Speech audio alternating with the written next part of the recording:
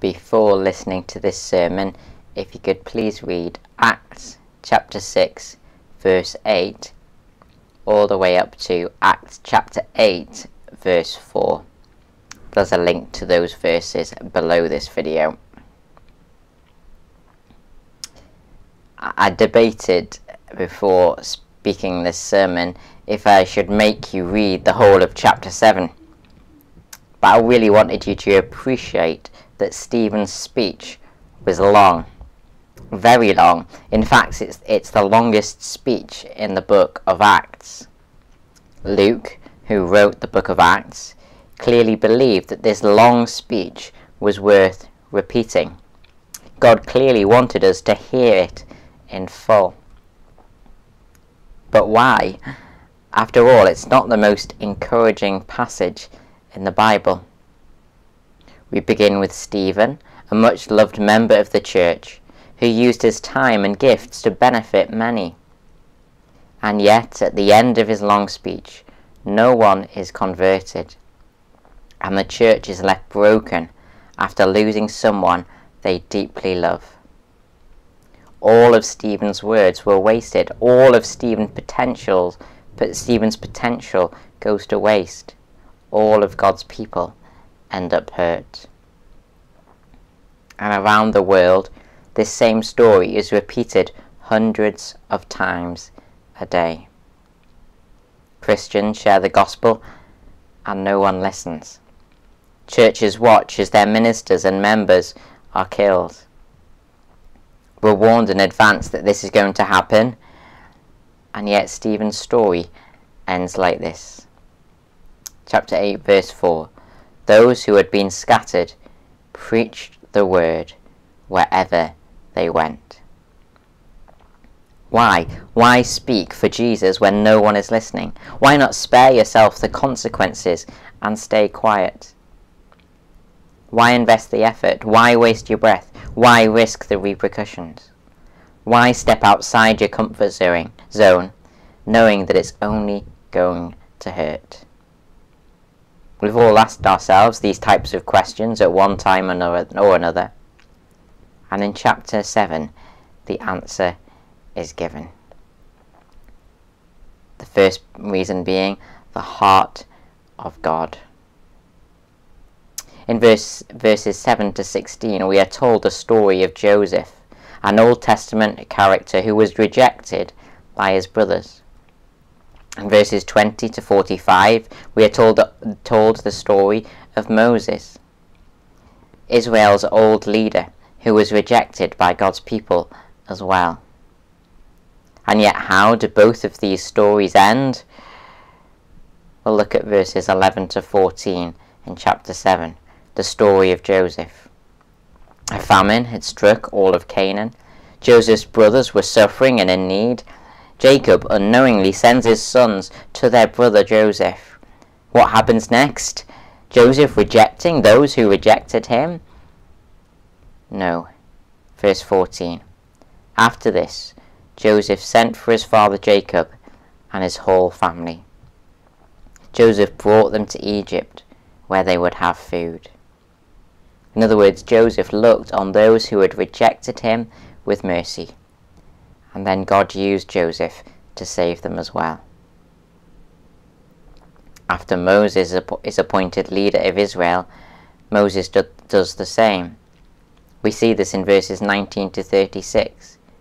Israel, we're told, suffered as slaves, slaves in Egypt. Egypt. Then God sends Moses to bring them out. First, they reject the idea of Moses being their leader. Second, they sack him and ask Aaron to lead them instead. How does it all end? With Moses rejecting those who rejected him? Verse 35 This Moses, whom they rejected, saying, Who made you, you ruler and judge? This man God sent as both ruler and redeemer by the hand of the angel who appeared to him in the bush. This man led them out, performing wonders and signs in Egypt and at the Red Sea and in the wilderness for forty years. Despite his rejection, Moses continued to serve Israel. God then used Moses to save them as well. And notice in verse 35 that Stephen replaces the word judge with. With, with redeem. 35 Then Moses, whom they rejected, saying, Who made you a ruler and a judge? This man God sent as both ruler and redeemer. When you redeem something, you pay a price to bring something back. And this was certainly true of both Moses and Joseph. Both paid a price as they played their part in serving God's people. And I don't think we can expect anything different. As Stephen continues in verse 52, Was there ever a prophet your ancestors did not persecute? All those who spoke God's message to the world have been persecuted. If you share something about Jesus, you can also expect to say pay some kind of price. The price of effort, or the price of rejection, or the price of our comfort. But though our gut reaction to all this is to risk nothing, spare ourselves, stay silent, the heart of God is different. Verse 52 Was there ever a prophet your ancestors did not persecute? Then they even killed those who predicted the coming of the righteous one, and now they have betrayed and murdered him. After a history littered with examples of the Jews rejecting those who God sent to them, God sent them yet another person, his Son.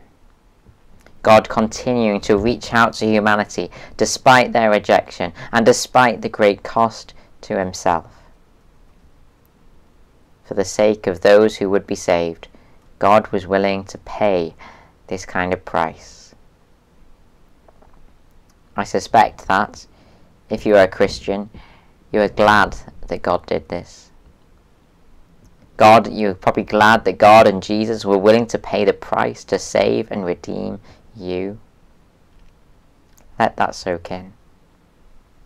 Jesus was willing to pay the price to save you and now God calls you and I to have the same heart for others.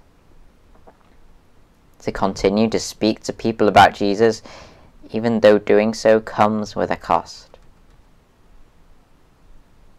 If we're focused on results, we won't do this. Stephen's story reminds us that we might invest much and see no return. If we're focused on ourselves, we won't do this. Stephen's story reminds us that speaking for Jesus comes with a cost. Instead, only when we focus on and appreciate God's heart for the lost will we be willing to follow in the steps of God's Son.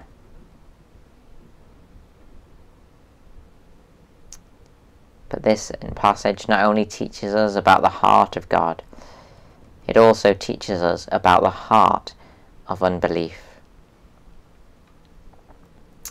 we begin chapter 7 with the high priest asking Stephen the question Are these charges true?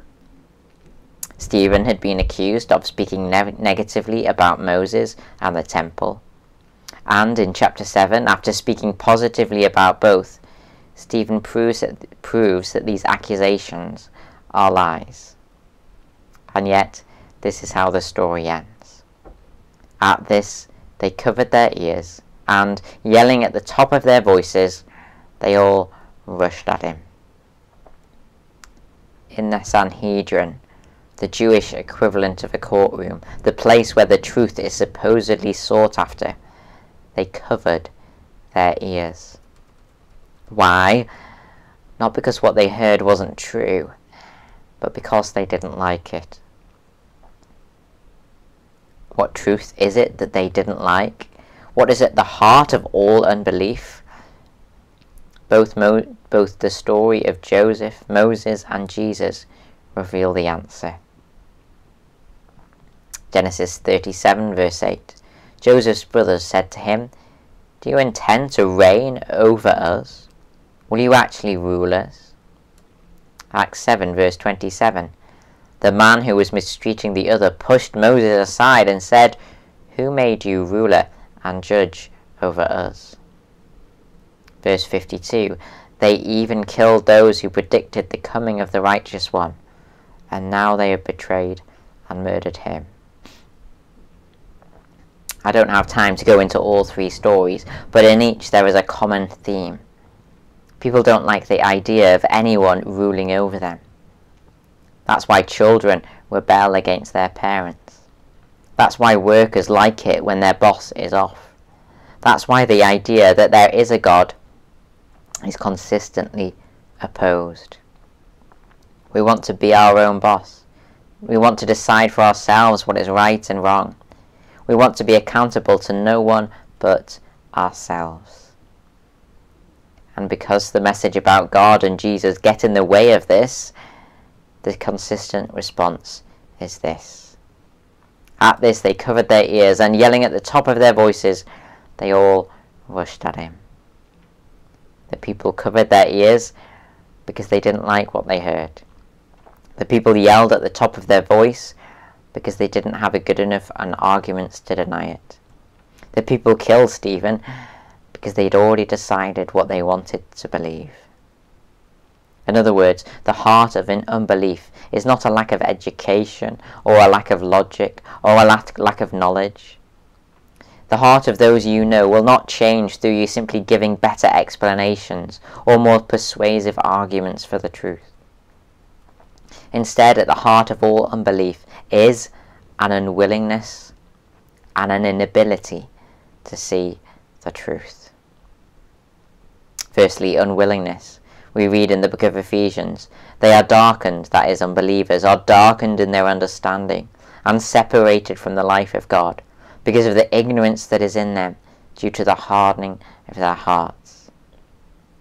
That's unwillingness. Now, inability. 2 Corinthians chapter 4 verse 4. The God of this age has blinded the minds of unbelievers so that they cannot see the light of the gospel. That's the theology of unbelief. At the heart of all unbelief is an unwillingness and an inability to see the truth. That's the theology of unbelief. But what's the practical response? Basically, the role of a Christian is more than that of an Olympic swimming lifeguard. Basically, if you're a lifeguard at the Olympics, you can afford to sit on your hands all day long. Why can they afford to do nothing? Because the people in the pool have more than enough ability to save themselves. And yet the unbelief in the human heart is so strong People don't have the ability to save themselves from it. As it says in the book of Jeremiah, the heart is deceitful above all things and beyond cure. At the Olympics, the people in the pool have more than enough ability to save themselves. For this reason, Olympic lifeguards can afford to sit on their hands all day. They simply need to tell the swimmers if a shark enters the pool. But the hardness of the human heart is such that we cannot, as Christians, just tell people the gospel. We cannot just tell people the gospel and spend the rest of the day sitting on our hands. Instead, we need to be lifting up our hands to God in prayer, the only one who can deal with and change the force of unbelief in the human heart. Thankfully, changing hearts is something God promised he would do He says in the book of Ezekiel, I will remove from them their hearts of stone and give them a heart of flesh. Changing hearts is something God promised he would do. Changing his hearts is something God has done for you if you are a believer. It says in 2 Corinthians that the God of this age has blinded the minds of unbelievers so that they cannot see the light of the gospel. But, Paul continues, God, who said, Let light shine out of darkness, made his light shine in our hearts. Thankfully, changing hearts is something God has done for you. And changing hearts is something God did in this passage. Saul, who we see so forcefully opposing the gospel about Jesus in chapter 8, is seen, seen proclaiming that same message by chapter 9. Changing hearts is something God has done and something God still does.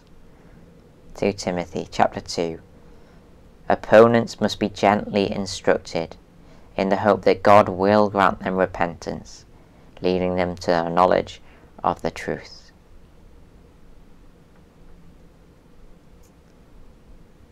In other words, we when we we need to not only speak the gospel to others, we need to pray to God that God will change people's hearts and cause them to respond.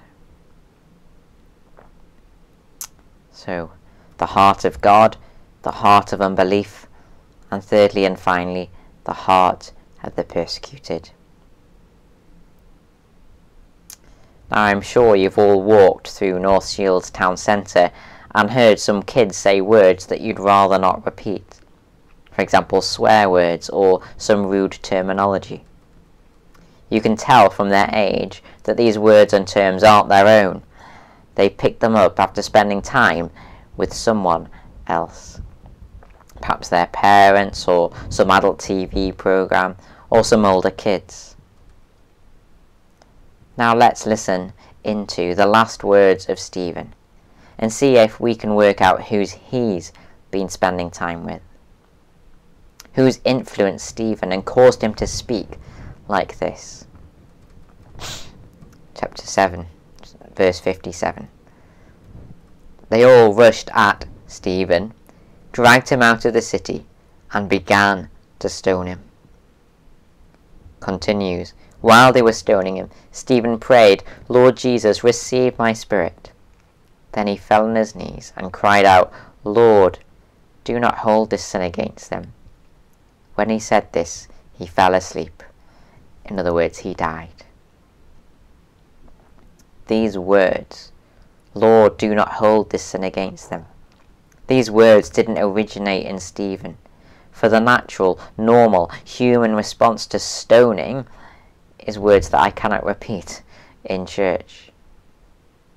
Instead, the words Stephen spoke in the face of total rejection were the result of spending time with Jesus. For Stephen's words were an almost exact copy of the words spoken by Jesus Christ on the cross. Luke 23 When they came to the place called the skull, they crucified him there. Jesus said, Father, forgive them, for they do not know what they are doing despite being mocked, despite being rejected, despite having nails hammered into his hands. Despite all this, Jesus is still longing for the salvation of the people right in front of him. And despite who we are, sinners, Jesus never shifted from longing for the salvation of you and I. And it's because Stephen had spent time with Jesus, remembering what Jesus did for him, that he responded in the same way. Stephen didn't cross these people's, people off his prayer list. Stephen was still praying for those who rejected him with his last breath. Stephen didn't spill out with swear words or anger when he was hurt. Instead, what spilt out was a continued longing for his persecutor's salvation.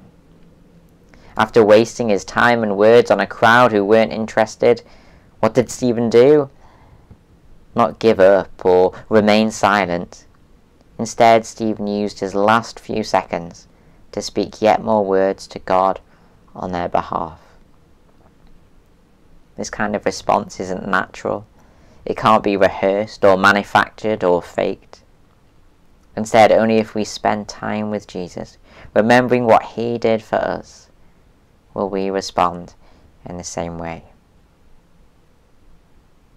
So, next time you find yourself debating why you should waste time praying for and longing for the salvation of others, ask yourself this Why should God have spent time and effort on saving you? Why should he have paid the price of his own son? in the word of the song, Why should I gain from his reward? I cannot give an answer. But this I know with all my heart, he willingly paid my ransom.